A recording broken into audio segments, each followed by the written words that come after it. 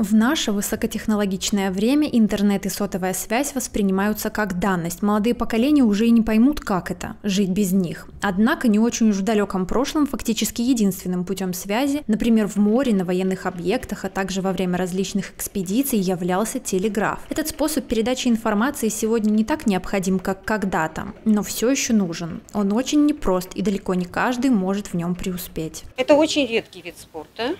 В нашей стране э, всего четыре области развивают э, этот спорт, начиная э, с детьми возраста 7-8 лет. Наше мастерство оно заключается в том, что с помощью звуковых сигналов мы узнаем буквы, цифры или знаки препинания, узнаем их, записываем их на бумагу или печатаем на клавиатуре компьютера а также мы еще умеем это все передать, эту информацию с помощью звуков на специальном электронном ключе. И выигрывает в нашем виде спорта тот, кто это делает быстрее и качественнее. Это непростой вид спорта. Главное уже с детства определить, что у ребенка есть способности. Тогда у него будут все шансы достичь немалых высот в будущем. В наше время истинные радиолюбители передают свои знания юному поколению и растят мировых чемпионов этого вида спорта в Брестской секции и в Минской школе по скоростной радиотелеграфии. В чем же особая уникальность и отличие от других людей у спортсменов-радиотелеграфистов? Изучение азбуки Морзе – это своеобразный язык. Как русский, английский – это язык азбуки Морзе точки тире, каждая буквочка точки тире. И вот что значимость, что люди вот принимают и расценивают эти точки тире с такой большой скоростью, что такой простой человек услышит какой-то просто треск. А наши дети, спортсмены принимают его, записывают и потом ну, переписывают буквами. То есть скорости получаются очень такие высокие. И я говорю, что простому слуху это не услышать.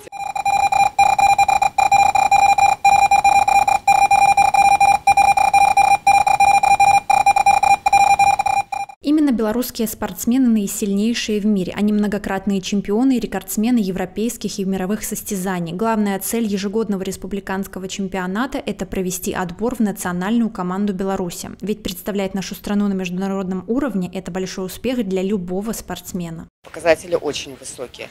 Почему такие у нас показатели? Потому что вот э, отбор в сборную республики очень жесточайший. То есть на одно место в команде претендует по 5-6 по человек. Конкуренция очень высокая за счет этого и результат высокий, и поэтому так блистаем на международной арене. Вот. И как бы все с мира ориентируются именно на белорусов, потому что мы просто ас в этом виде спорта. Приводить ребенка в этот спорт нужно именно с маленького возраста. Именно в это время детский мозг просто заточен на обучение. У него мгновенно формируются новые нейронные связи, быстро запоминается информация, тренируется реакция, скорость мышления и усидчивость. Стоит отметить тот факт, что нынешние многократные чемпионы мира Анна Семенихина и Станислав Гавриленко пришли в спорт именно в раннем детстве, а своей жизненной целью сейчас они видят именно воспитание нового поколения. Я понятия не имела, что существует такой вид спорта.